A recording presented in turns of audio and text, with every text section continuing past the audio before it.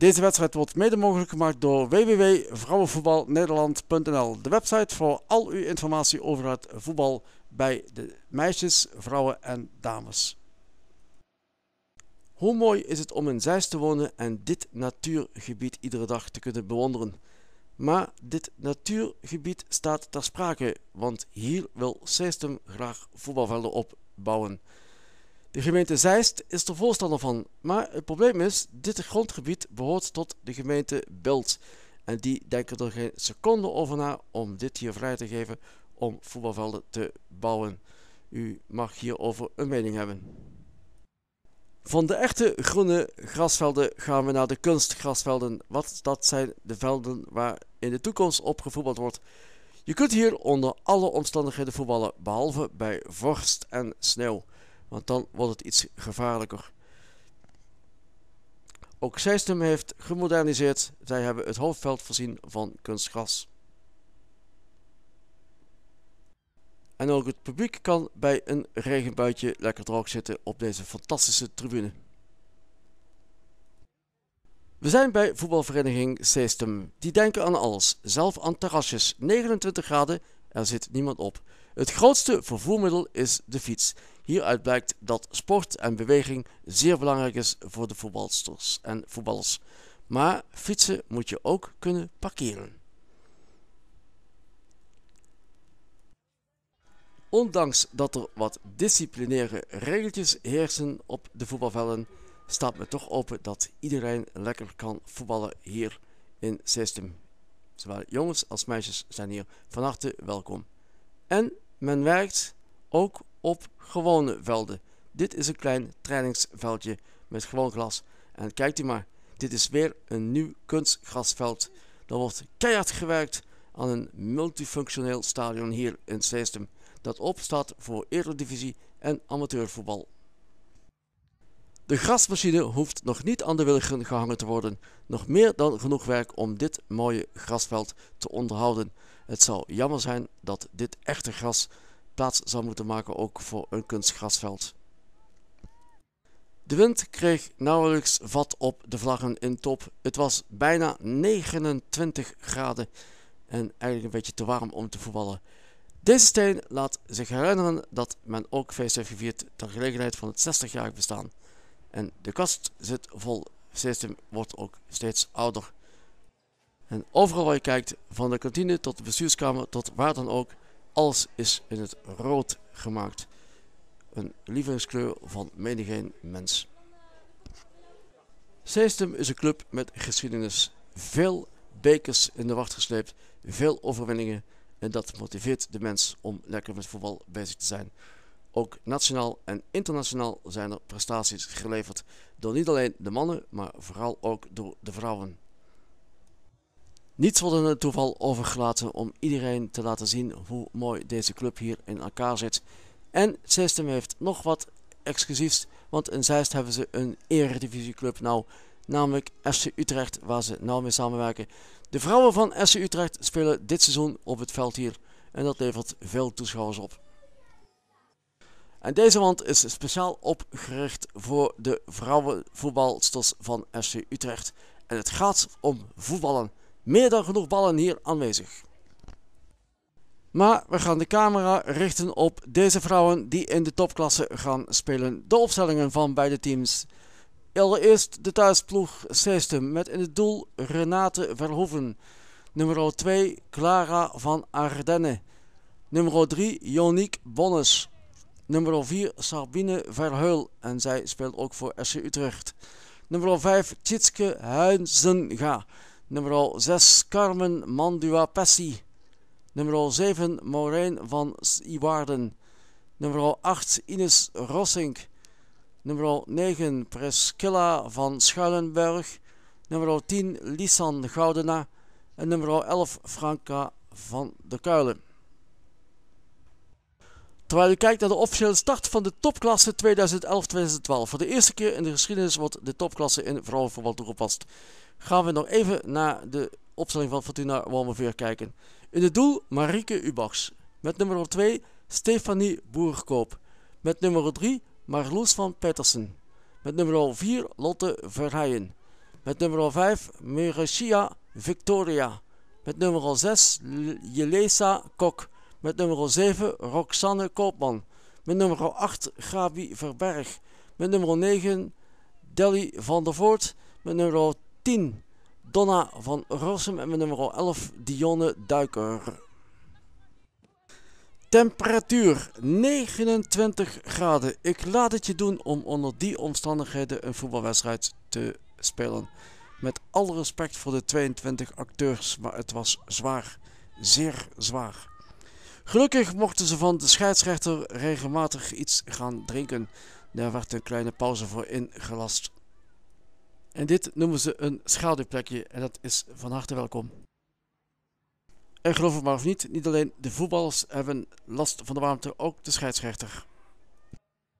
Roesink met de vrije trap voor Sesem dat van rechts naar links speelt herkenbaar in het rood. En dit is een schot op goal, maar zij zoekt het doel nog een beetje te hoog op. De FC Utrecht speelster die hier de aanvoerdersband draagt bij Sestem.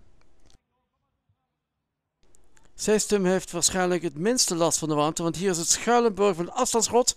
En die bal gaat 3 meter naast het doel. En het schot was ook niet hard genoeg om de keeper te verrassen. Hoekschop, Seestem. Bonus, doelpunt. 1 tegen 0 voor Seestem. Joniek Bonus is de doelpuntenmaakster. Nogmaals de herhaling. Kijkt u goed, Joniek Bonnes staat volledig vrij. Ondanks dat er drie verdedigers aanwezig zijn. Ja, en zij kan doen en laten wat ze wil.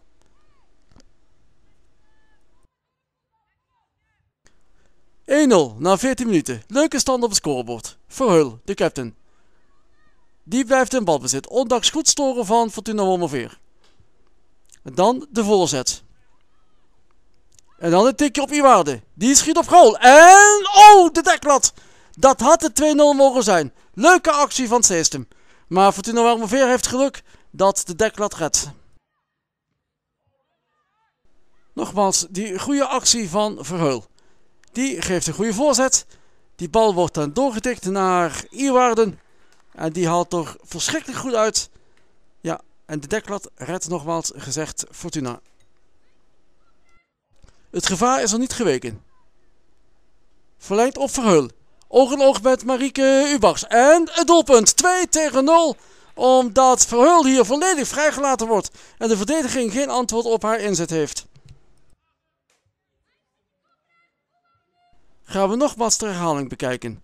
Sabine Verheul, links, met nummer 4, wordt volledig vrijgelaten. Geen verdediger erbij, heeft alle ruimte, alle tijd en kan lekker uithalen en Marieke Ubachs op het verkeerde been zetten. En die zal zich niet prettig daarbij voelen.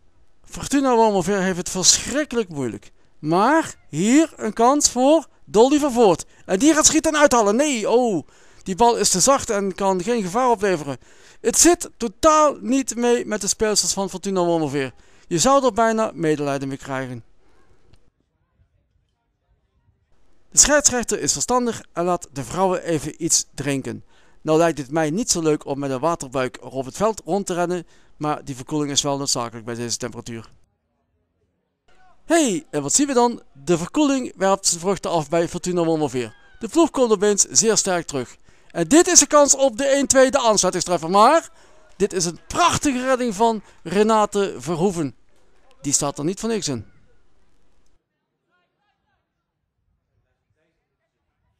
Fortuna ongeveer krijgt de smaak te pakken. Geen buitenspel. Kans voor Fortuna. Lopje. Volley. Komt verkeerd op zijn voet. En dan een schot. 2 meter over. Nummer 14. Die naam staat niet op mijn lijst.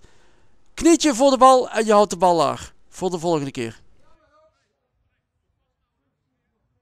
En de ongeschreven wet zegt, scoor je zelf niet, dan scoort misschien de tegenpartij wel. Roesink. Met de voorzet. Komt de bal terecht bij Verheul. Goed spelend vandaag. En die gaat een meter over. Wel een mooie kans voor Seestem. Zo scoor je misschien wel de 3-0, omdat de andere partij niet scoort. En dan krijgt dit extreme warme weer toch wel een negatieve invloed op de speelsters. Zij is even niet goed geworden. De scheidsrechter legt het spel even stil. Krijgt Fortuna Wormerveer dan totaal geen kans. Dionne Duiker, ja, ze probeert het wel, maar ook dat schot gaat helaas naast. En zo kan Fortuna ongeveer in de eerste helft totaal geen gevaar opleveren voor Seestem. De scheidsrechter kijkt dan op zijn horloge en beëindigt de eerste helft. Hij vindt het onder deze omstandigheden niet verantwoordelijk om ook maar één seconde over te laten spelen. En dan gaan we meteen overschakelen naar de tweede helft. Ik kreeg zojuist te horen dat Anne Maguire de doelpuntenmaakster van het tweede doelpunt zal zijn geweest. En dit is System. Heel snelle aanval. Pats, boom en de 3-0. De wedstrijd is bij deze beslist. En wie heeft het doelpunt gemaakt? Dat gaan we eventjes kijken. Jawel hoor, de aanvoerster Verhul. De herhaling met de beelden iets dichterbij. Nummer 2, Ardennen. Schitterende paas. En dan wordt hij verlengd op Verheul. En die kan net dat tikje geven. Ja, het is een mooi doelpunt.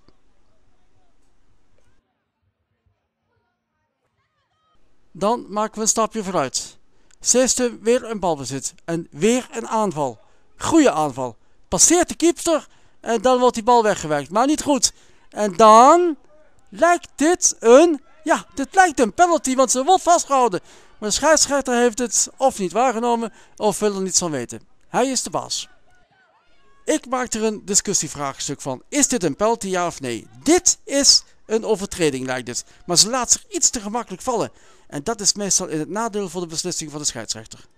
Fortuna Bommerveer valt aan. Maar System kan counteren. Zeer gevaarlijke counters op de grasmat presenteren. En dat is boeiend voor het publiek. En hier een kans en bijna een eigen goal. Waar het niet dat de keeper die bal nog net tegen kan houden. System gaat het publiek vermaken met leuke aanvalletjes. 75 man langs de lijn.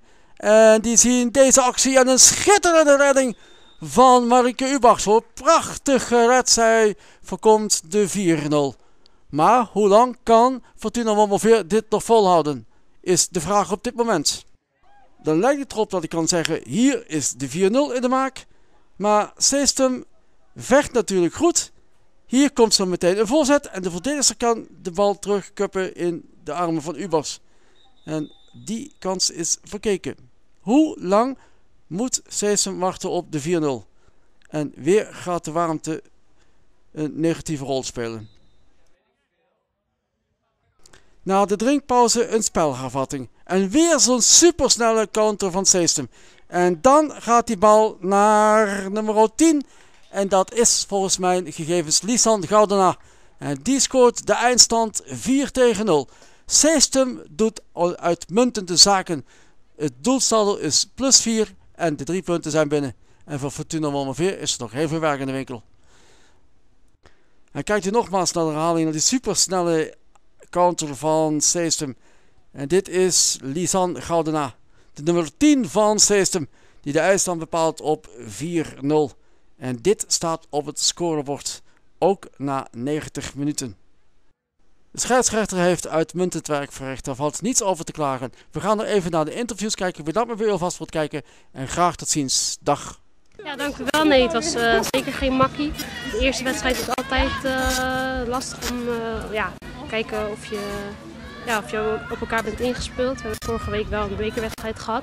Maar dat was niet van ons eigen niveau. En dit is de eerste ja, in de tegenstander in de topklasse. Dus het was zeker niet gemakkelijk. Het was wel het voordeel dat we gewoon eigenlijk snel op 2-0 voorkwamen. Nou, na de 20, 20ste minuut zakten we iets weg.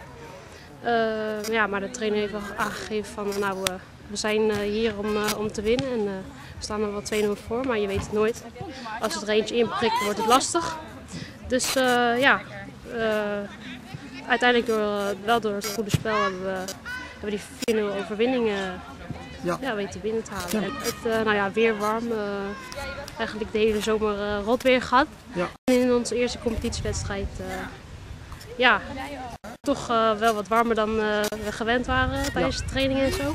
Maar ja, we, we hebben meegekregen dat we echt veel moeten drinken. En, uh, ja, dan moet je eruit zweten. Hè? Dus, als, je, als je veel genoeg ja, rent, dan, dan heb je daar helemaal geen last van. Ik heb best een bidon of twee, drie gedronken, maar ik heb geen klotsbuik. nee, dat zeker niet. We zijn, we zijn hier geen verdetters hoor. We blijven hier gewoon keihard trainen.